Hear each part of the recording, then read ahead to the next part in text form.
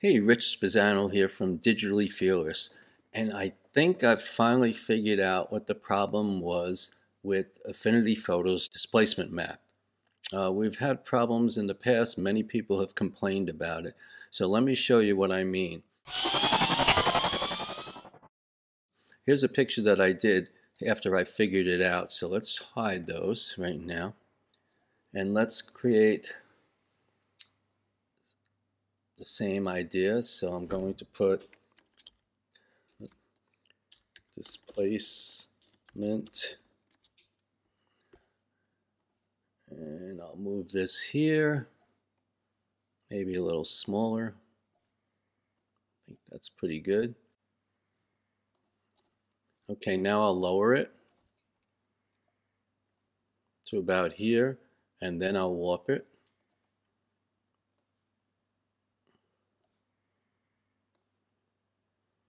Okay, that's good enough for the purpose of this video. So I'm going to duplicate that just so we have the just so we have a way of showing you how everyone seems to be doing it and what the problem is. So com Command or Control J and I duplicate it. And I'll get rid of these old ones. I'll put them underneath.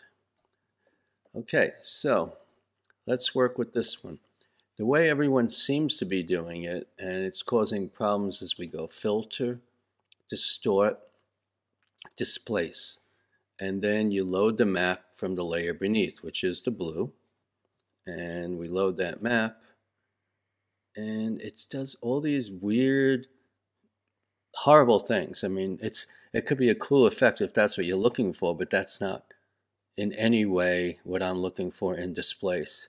It's just very, it's just very poorly done. So I'm going to cancel that.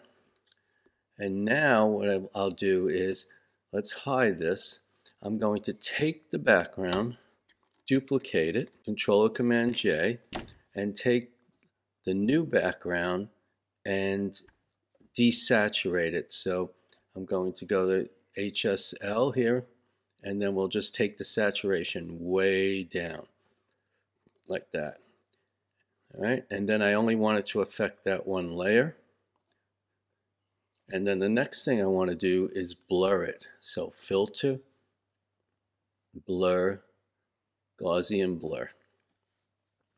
And we want to pretty we don't want to lose everything, but we want to we want to keep the colors, the shades in, but we want to lose some of the detail. So I'm going to try this. We may need to try more than one to get it right. But this is the one I'm going to try. And so I'm going to say apply. And now I'll do file, export. I want to export it as a PNG. And I am going, I've done some here, so I'll call this a new name. I'm going to call it um, displace number water number three. Okay, and make that save. Now I'm done with this. So I can get rid of this background. I'll move it down in case I need to make changes. Bring this background back and bring my displacement wording back. And now this time I'll take it and I'll say filter, distort, displace, and don't hit load map from underneath. Let's put load map from file.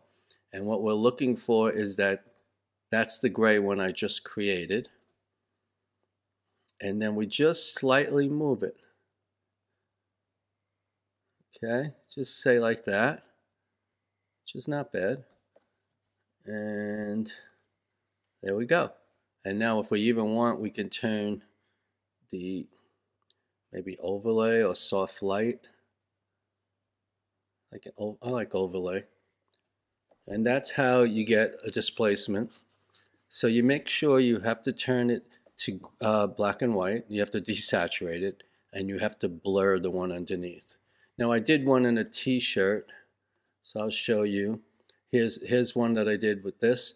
So what I actually did, I'll delete that, that logo, is I took the t-shirt, I duplicated it, Control J, and then with that second t-shirt, I did filter, well, we have to make sure it's desaturated, which I believe it is, but just in case, I don't want any color in it at all, so I took all the saturation down and make sure it only applies to, oops, only applies to that t-shirt. There we go. And then I blurred it. Filter, blur, Gaussian blur, and I kind of just want to leave some shades in there like that, but I want no details. And say apply. And then I said file, export, PNG, and I'll export it. We already have a displace T, so I'll do displace T2 and save and replace it. Oops, I guess there was a 2, but that's okay. I'm still going to use that. Now I can delete this since I know it's going to work. And now I go File, Place, and I bring in my logo. And I'm going to bring it low because here's where you could see all the seams in this particular graphic. So I'll bring it around there. Also make sure you're viewing at 100% or otherwise it'll look distorted. So then now that we have that, we say filter, distort, displace, and load map from file. And I just created displace T2. And I'm going to just see how that nicely that works. I'll just give it a little and say apply. Now, if you really wanted to go further, and I don't really recommend this, you can't go further because it gets really uh, fuzzy and distorted, but on the first time. But if you want to do it, you can do filter, uh, let me see, distort, displace a second time, and again, load from the map file, same map file and it allows you to just jut it up like a little bit more. Each, if you went a little at a time on each one, you can get really drastic. But so I think that works. I want to thank so many of you because you've been subscribing, and I really appreciate it. I'm only doing this for about three months so far, and I, I think it's wonderful all the comments and compliments I've gotten. So I hope you enjoy this tutorial, and have a good day.